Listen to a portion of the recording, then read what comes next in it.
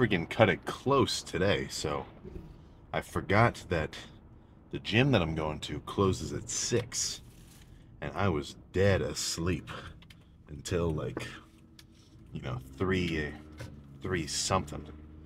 So 4.30 now, it's only a couple of minutes away.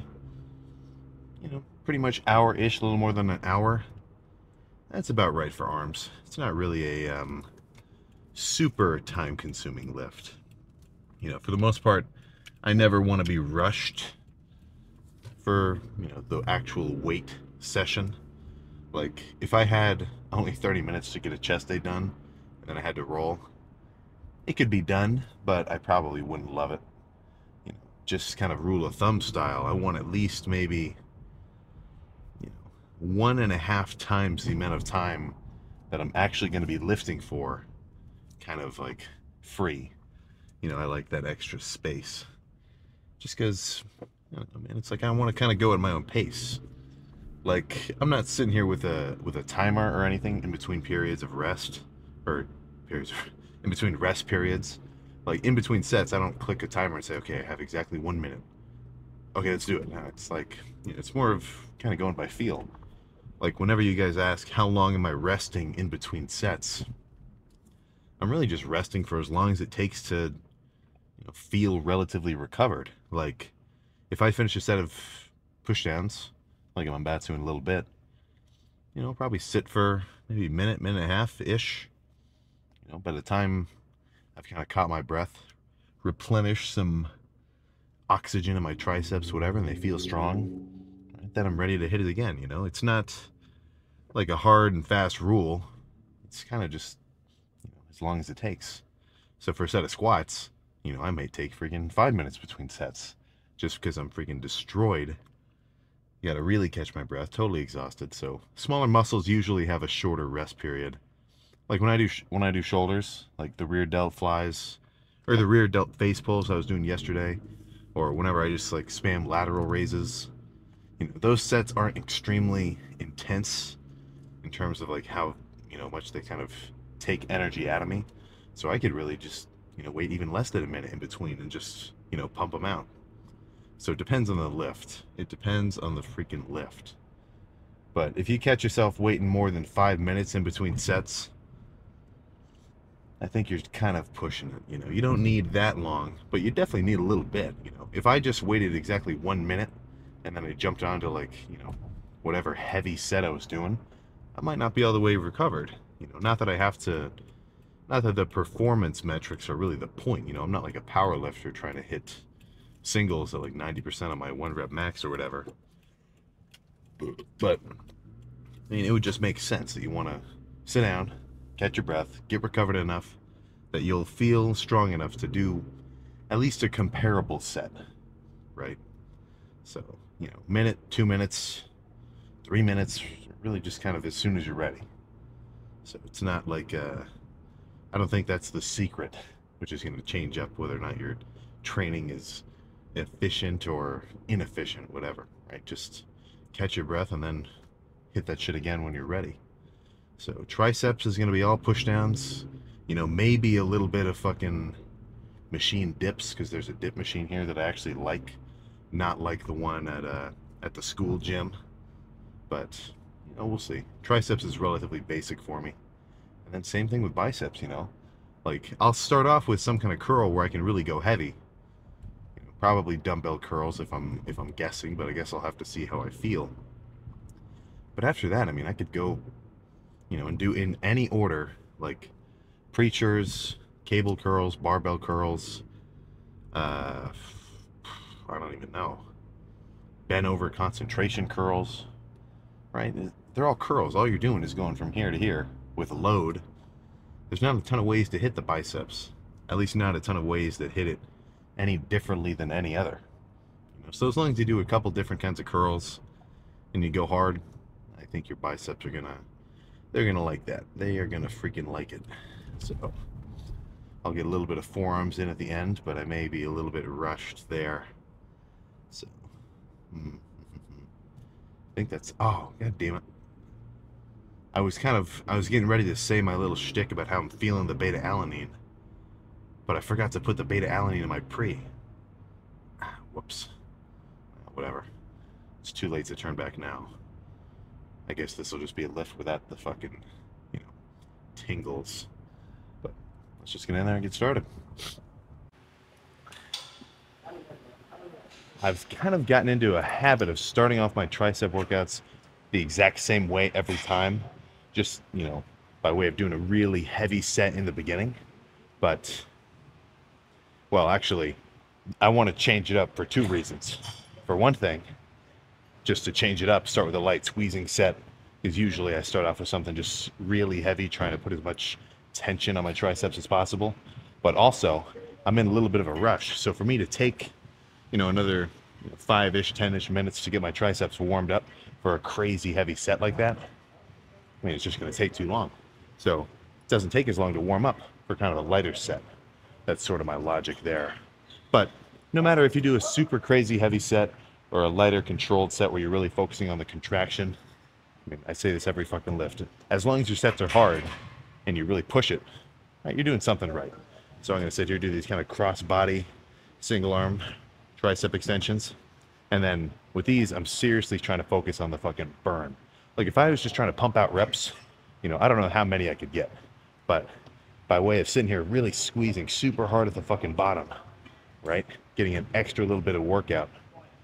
It should be a pretty solid start.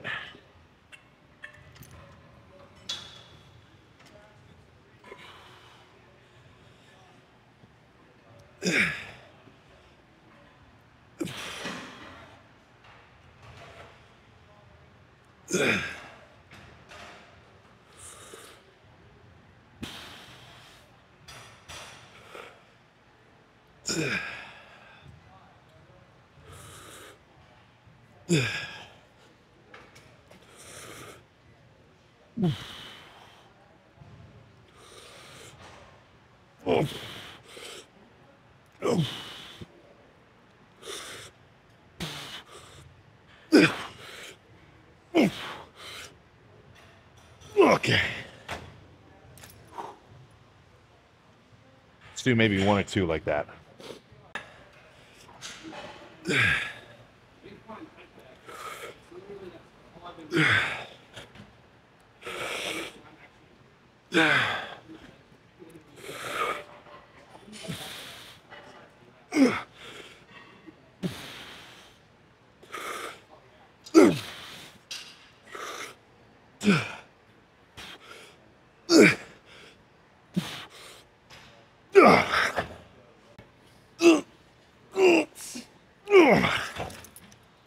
Okay.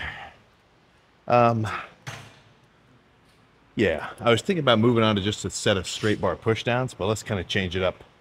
Let's get some dips done first. Very different style of set. So those were real, I mean, that was only 30 pounds on either side, right? But I did the reps in such a way that I could only get, what, like 15, 16?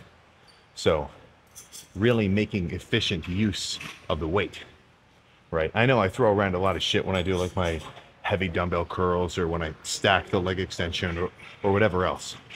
You know, it's not like I think that's absolutely necessary. It's kind of just how I like to train.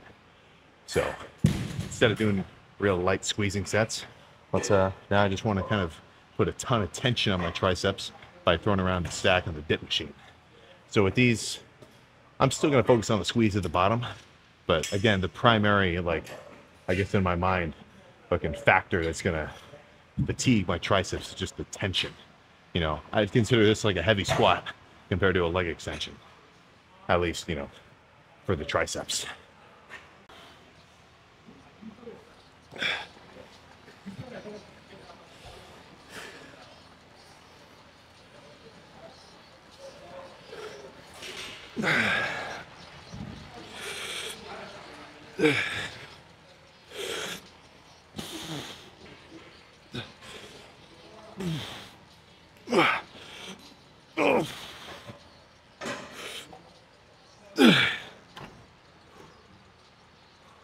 One more.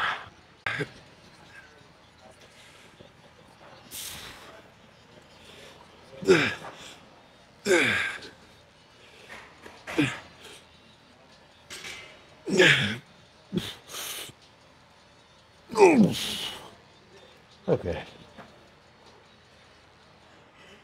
Let's do some normal straight bar pushdowns next.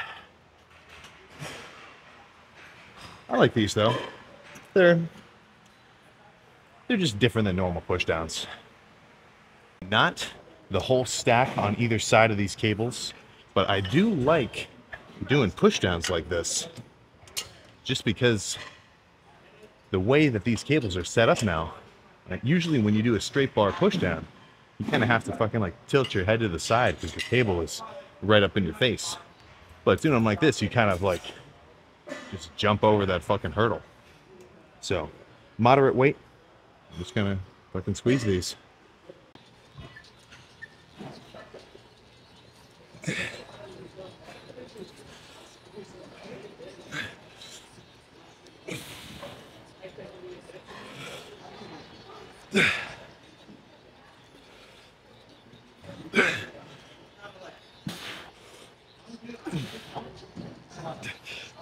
Let's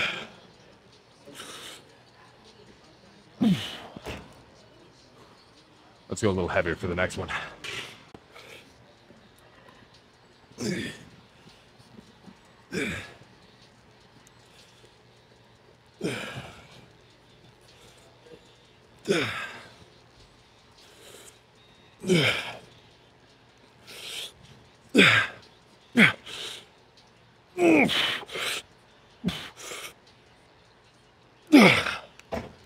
Okay.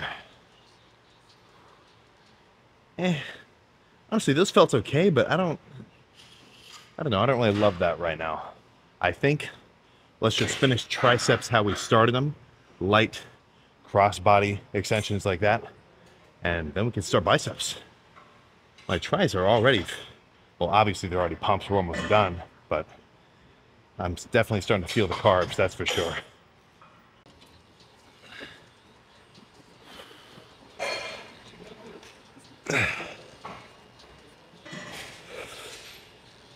Okay.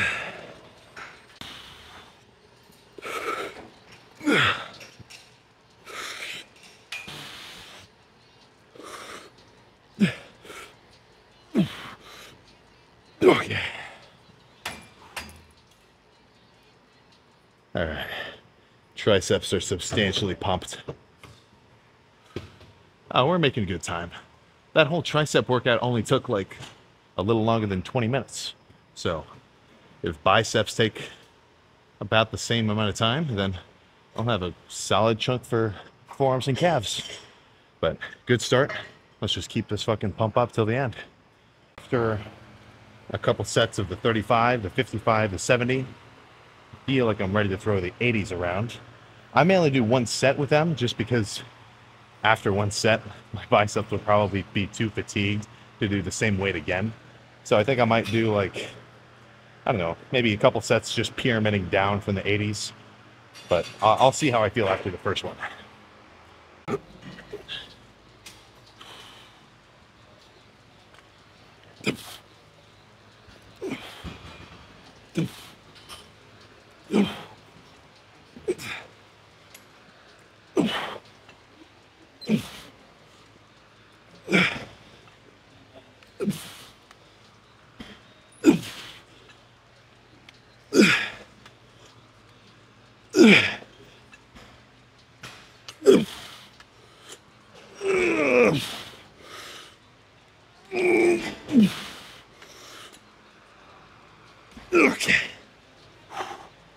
Whew. Fuck, man. Yeah, let's drop to the 70s.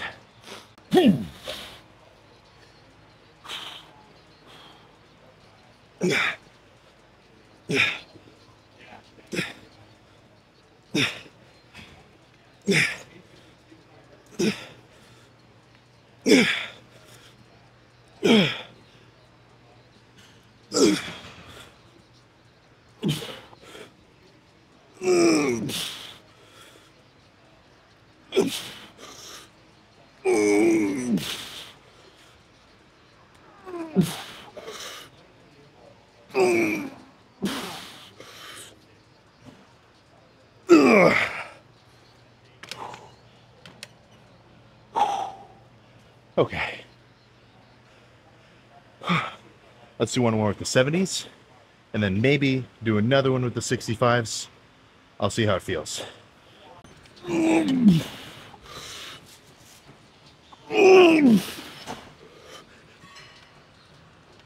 Okay. All right, you know what? That's enough dumbbell curls. Let's move on to a machine. I like this machine a lot. Honestly, apart from sometimes like a preacher curl machine, you know, where you got the fucking, you know I'm talking about. This is probably the only other kind of curl machine I like. This one's a little, you got to be kind of careful with it because the nature of the movement, it keeps your palms up the whole rep. Like when I was doing those dumbbell curls, obviously my palms were pretty much facing the sky at the top, but at the bottom, I was down here. This is a very comfortable position to kind of pull from. So since your palms are kind of upward, it could potentially kind of wrench your wrists a little bit. So, you know, be a little bit careful if you haven't done the machine before. But by way of fucking twisting your arm like this, takes a lot more tension off your forearms. So you're pretty much only moving the fucking weight with your biceps. You know, even if you do a hammer curl, it's mainly biceps, but your forearms take over the more that they're turned inward like this. So your forearms are going the craziest in a reverse curl here. So inverse to that, your forearms got the least activation when your palms are totally, uh, what the, supinated. I know you like that. So let's throw the stack around and just burn out. You know, the fact that it's a machine means the movement path is already set for me. So I don't have to focus on balance. All I get to think about is like going crazy.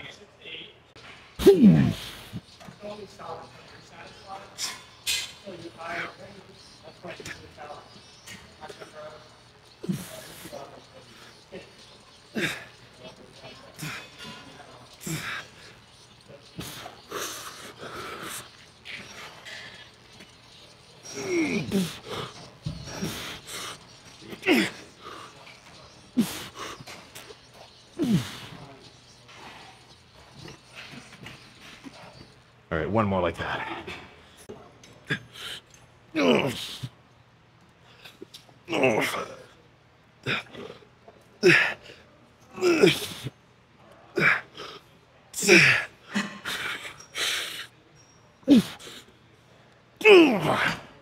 Okay. Oh. So with the partials, I mean, I kind of have to know when to call the set because I could probably sit there and do 10 more little like, you know, barely moving reps. Unless I'm doing a movement like those heavy dumbbell curls where I can hit legit failure. And I know there's like probably a 90% chance I'm not going to get one more. You know, other than that, with these movements where you can do a lot of partials, it's kind of up to you to be able to know how hard to push yourself. Because I could definitely see somebody doing a set of that like speed or whatever and hit 10 reps and their, you know, the range of motion starts to go down a little bit. And then they think to themselves, okay, that was enough, we're done. Even though they could have got that extra, I don't know how many partials, but I definitely think that did some extra damage and contributed to a crazier pump than if I were to have just dropped the weight at rep number 10. But that's uh, three sets of dumbbell curls, two sets of machine curls. So I got three left. Um, let's do some barbell curls in the squat rack, of course. Another, I wouldn't say controversial movements, but one that isn't particularly um, perfect, maybe. Just because with these curls, since your hands are totally parallel with each other, since the bar is perfectly straight, when you do them, it can kind of put a lot of pressure on your wrist. So it used to do the same thing for me. Like I never cared for barbell curls. But now what I try to do is instead of keeping my elbows directly at my sides, I try to put them in front of me a little bit. And this, uh, you know, just by way of kind of internally rotating my fucking, whatever this upper arm bone is or whatever, it just gives me a more natural movement path for the curl. So I think maybe one here, maybe two. If I like the way it feels, I'll just finish arms with this. So let's, uh, let's see what happens.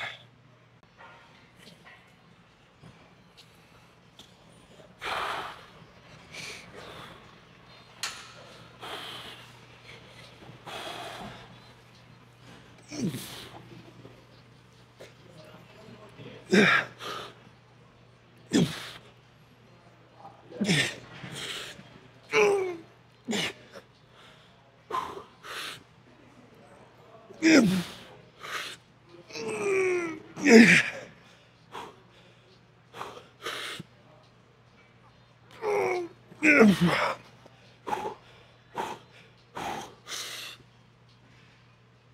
fuck. Oh. All right, that was a good one, but uh, eh, fuck that. Let's go back to dumbbell curls. I think just a controlled set with the 50s should be good, and then maybe I'll do a little something different for the last set, but maybe I'll just do one more here. So considerably lighter. I mean, almost half as light as the first working set. So I'm definitely fatigued, but I'll still be able to get a lot of reps. So the way I'm going to make this set more, um, I don't want to say difficult, but let's say intense, is at the top. When I get to this top of the curl, I'm not just going to get up to here and then release the tension. Once I get up to the top of the range of motion, I'm just going to have an extra moment of squeezing, right? You can do the same. I mean, you can apply that same logic with like pec flies, leg extensions, hamstring curls, tricep pushdowns, fucking most squeezing movements. You know, sure, you know, you do your normal reps, but if you get to the top and you have an extra little moment where you squeeze extra hard, I'm telling you, the pump will be different. So let's just hit this shit while I still have time.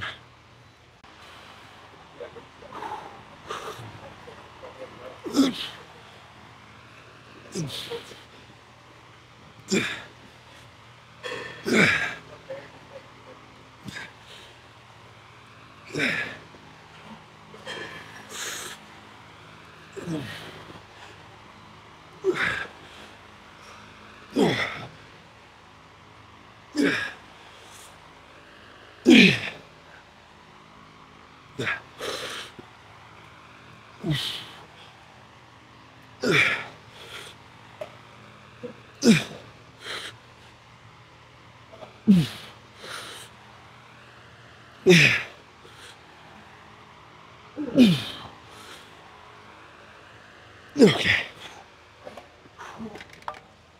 Oh. All right. I like that. Let's do one more at the 50s, but instead of slow and controlled, I'm just going to kind of burn out with quicker reps.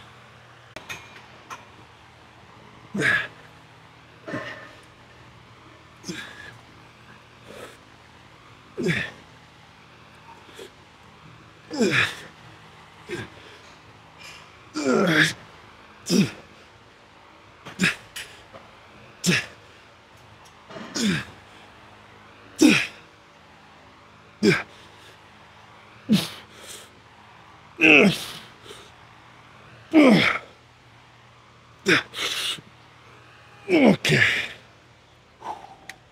All right, run over to pose down before they close. All right, exposure dropped down very, very subtly. Let's see what we're freaking working with underneath this oversized off-season Hosstile tee. So I've touched on this before, but mid-lift, I like being covered up. Like, you know, I kind of want to see my silhouette through like a really baggy whatever. I mean, what do you think? I always wear pants. But by way of kind of staying covered, for one thing, I don't know, maybe I just like being sweaty too. But I like that it kind of makes the workout like sort of build up to something at the end. You know, if uh, if you already have seen your pump your whole fucking workout, by the end of it, you know, you're already fucking exposed to it, right?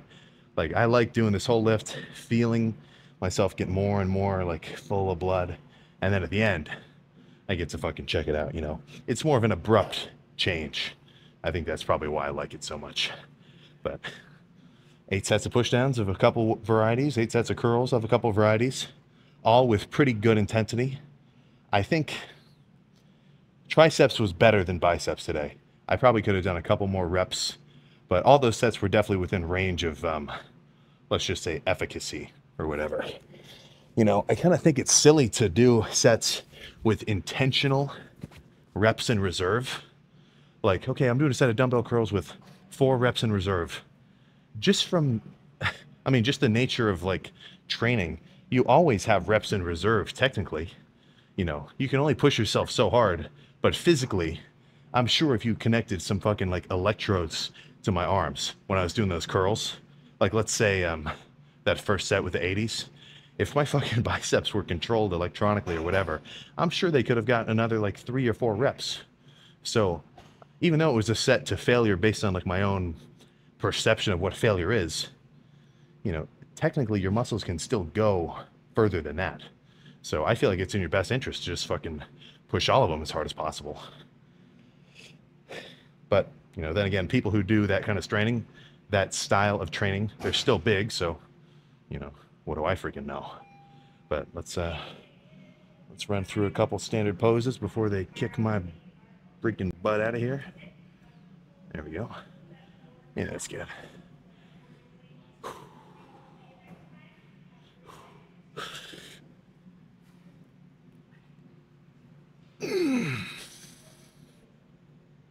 Oh.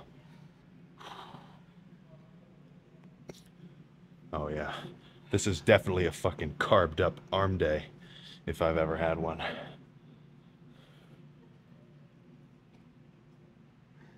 Oh.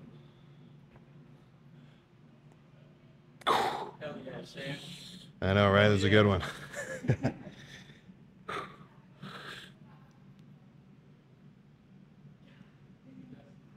okay.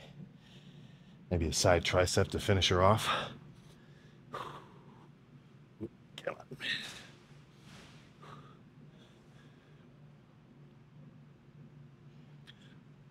Oh.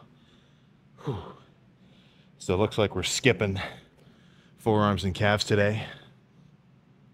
Not a massive deal, but that's kind of on me for being a fool with my um, with my timing. But then again, I did get a little bit of extra rest from that nap. Plus, I had some, I, had, I don't know. Whenever I'm bulked up, I always have much more vivid dreams because I've got more carbs, you know, more blood sugar floating around.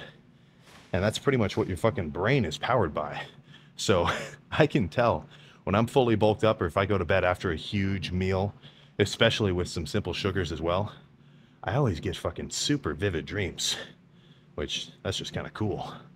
Actually, wait, let's bust out a crucifix and then we can get out of here. I'm already staying past my welcome. It's like 402.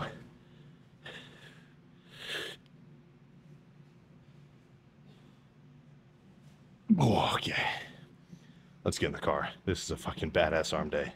I will start bringing in a, um, you know, a measuring tape. Just because I'm freaking you know, I want to know how big these are around right now, unpumped, or no, no, no. I guess technically unbulked, so that we can see if there's some, uh, you know, a growth trend over the next several months.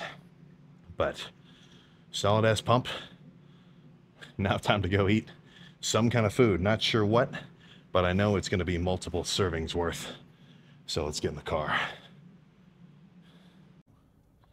All right, so solid, solid freaking pump. Actually, not even solid, very good. Very freaking good. You know, part of the reason why I don't, or at least why I stopped training biceps like back and forth with tries, like doing like a set of tricep pushdowns immediately into a set of curls. Um, it's not because I didn't think that I, you know, wouldn't get enough rest by doing it that way. Hmm. But what would happen is like when my triceps and my biceps are both fully pumped at the same time, it's almost like too much. Like it kind of cuts into my fucking mobility for the fucking curls.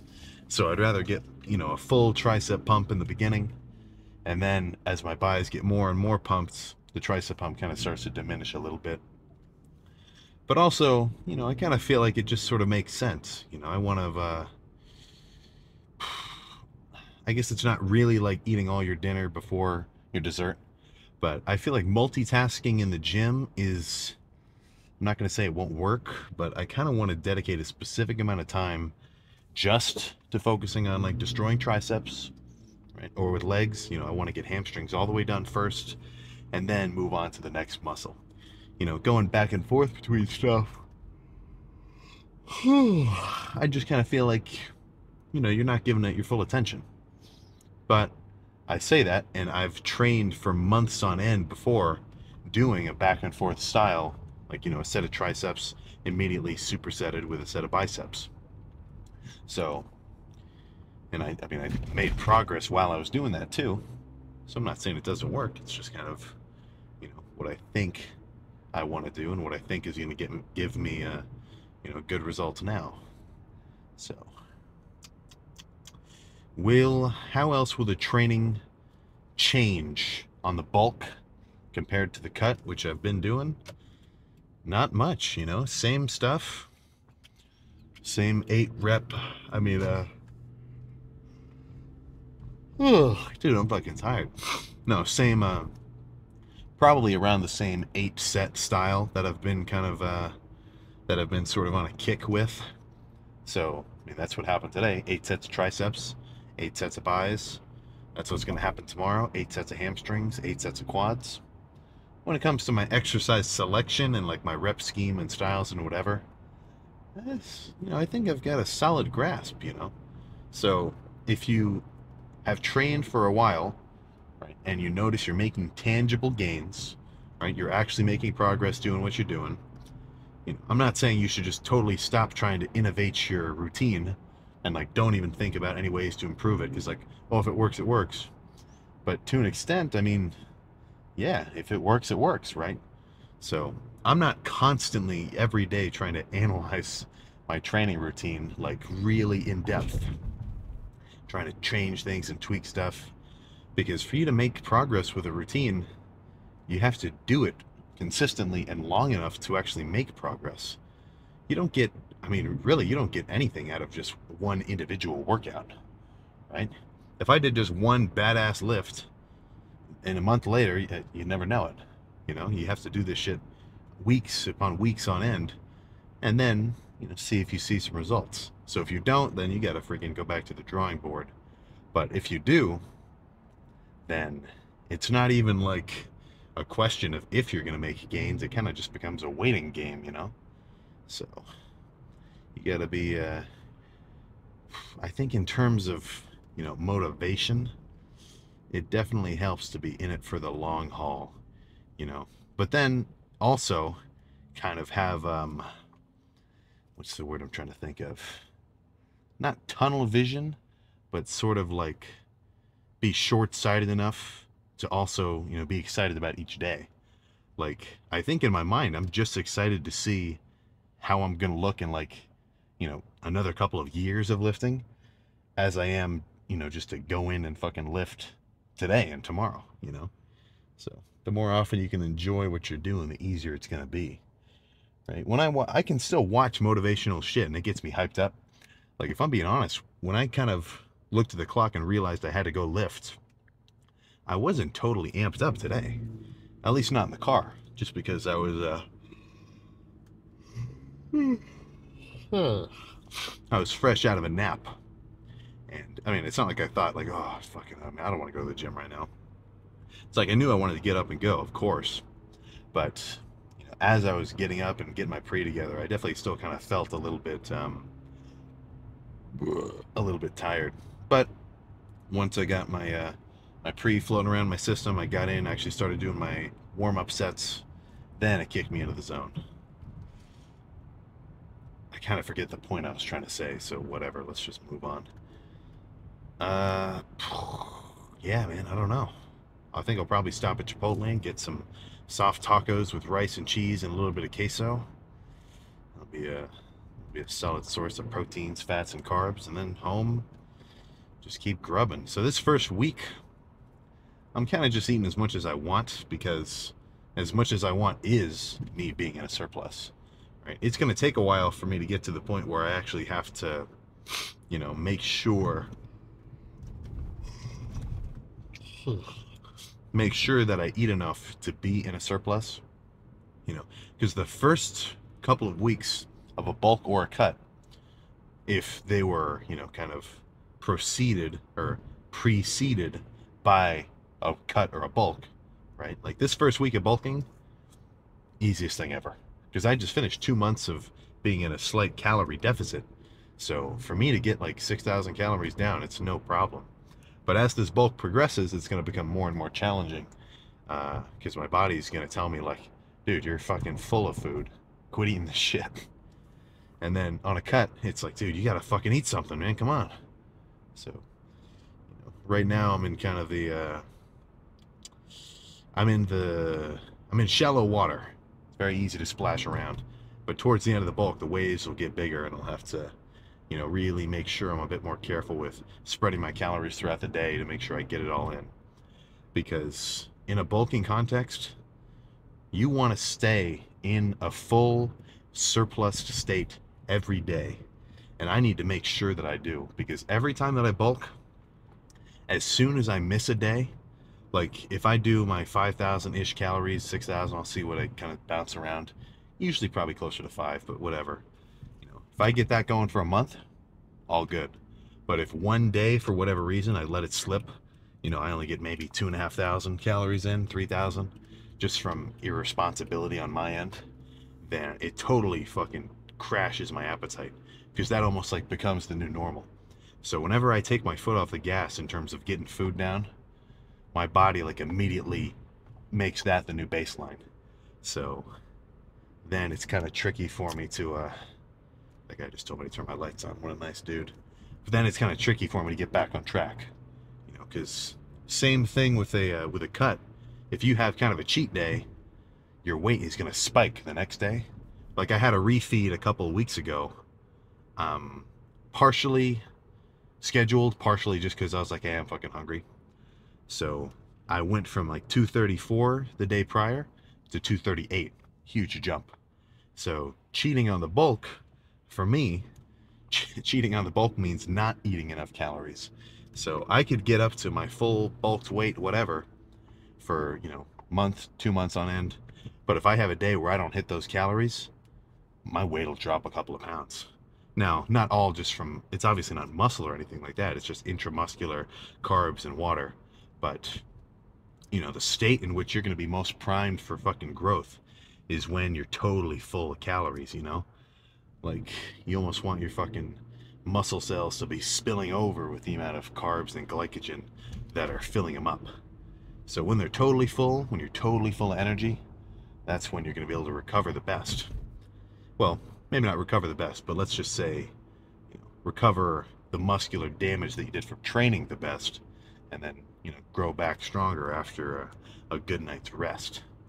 So if I take a break in the sense of like, you know, a light day of calories, then I'm to get a little bit flatter, right? I'm to drop some weight and I'm not to be in the state which is as primed for growth, if you kind of catch my logic. So basic gist, I got to make sure I fucking get all this food down for the next, you know, X number of freaking months.